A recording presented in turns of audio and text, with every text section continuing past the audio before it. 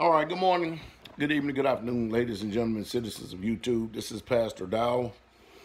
Um, I guess we're looking at today uh, the, the start of the historical Trump impeachment trial.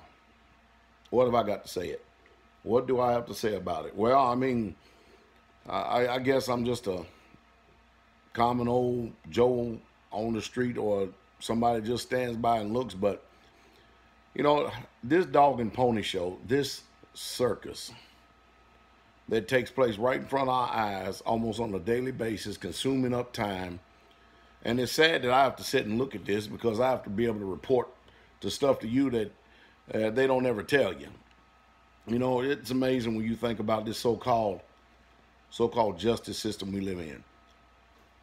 Let me tell you something about the so-called the legalized extortion from suited and booted costume uh, characters who presume to have authority over us as a people, let me tell you what's really going on.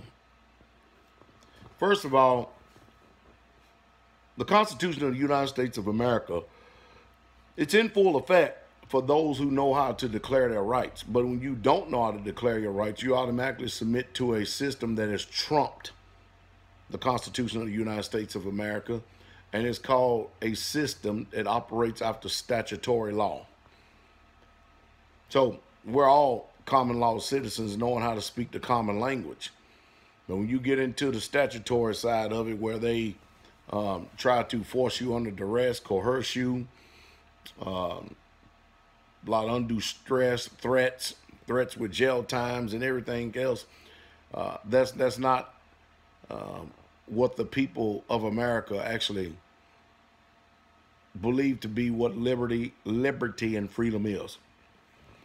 With all that said, it's obvious that the House Democrats are the ones who are leading the charge concerning the impeachment of Donald J. Trump.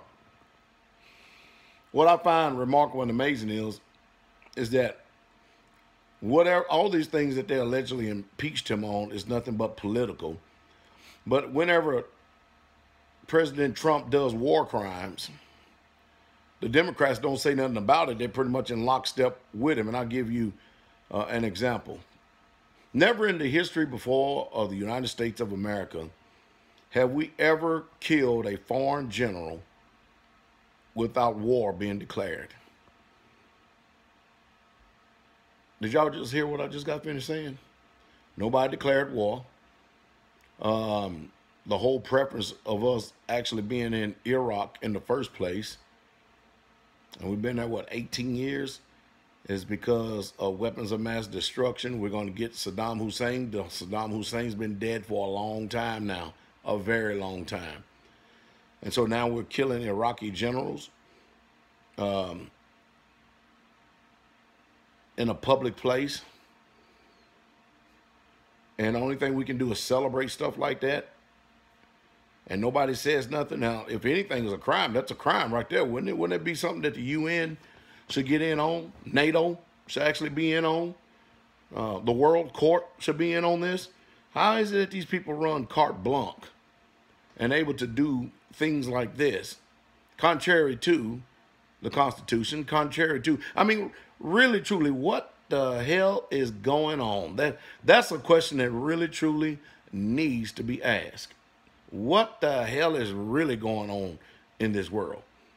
It seems like it makes no difference if you took a red pill and your eyes are wide open. You still see the blue pill matrix all around you. You see all the simple deceived souls that's in it too. And it's just utterly amazing. I know one thing, this is definitely not the country, talking about America, that God blesses. There's no way because it goes too contrary to what the Bible says. I know I'm digressing here, but let me go ahead and finish this video real quick. The Senate is not going to impeach Trump. They, they're simply not going to do it. That, that's always in the House, of the power of the House. The Senate can only listen to the evidence that's being presented, and then they'll make a vote on it. And they ain't going to vote against Trump. I'm telling you, that's all there is to it. And so Trump is going to be the first impeachable president to ever get reelected because the House um, Democrats who gloat in all of their glory as if they ran a victory lap the Democrats is obviously divided. Obviously divided. And it's obvious that CNN does not want Bernie Sanders to be the front runner for the Democratic Party. As a matter of fact, they've already ordained, anointed, and appointed Elizabeth Warren.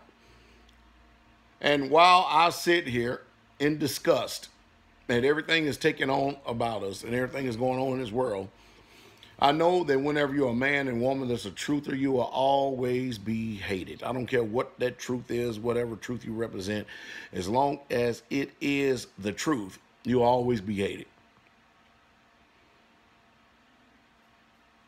But I'm telling you, right now, they're toying around with us and playing mental gymnastics with our souls. Um, and I'm speaking from social, political, economic, religious perspectives and point of view. It's just sad what what goes on, and it seems like the older I get, uh, the more that the wool is definitely pulled off my eyes, where I can clearly see the deceptions that is going on and still going on in this world. I mean, it's just you can't miss it. You just simply can't miss it unless you're blind in one eye and can't see out the other.